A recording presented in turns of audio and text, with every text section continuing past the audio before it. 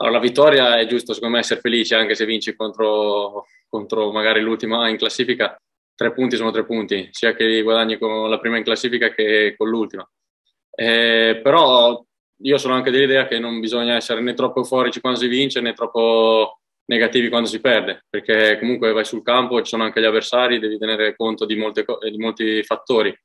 Quindi secondo me bisogna cercare di restare equilibrati mentalmente, perché se, essere troppo euforici dopo una vittoria diciamo che non fa bene, perché magari ti siedi un attimo, essere troppo negativi dopo una sconfitta è stessa cosa, perché magari ti, ti autoflagelli per niente. Loro comunque sono una squadra molto forte e fastidiosa, ma secondo me se la prepariamo come sappiamo fare riusciremo a fare bene e a metterli in difficoltà.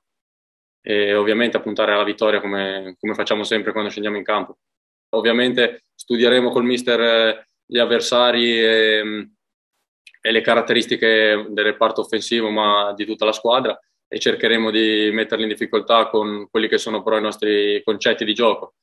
E, secondo me così facendo, seguendo le indicazioni del mister e applicandoci al massimo in campo riusciremo a mettere in difficoltà anche una squadra che in classifica si trova ben, ben messa.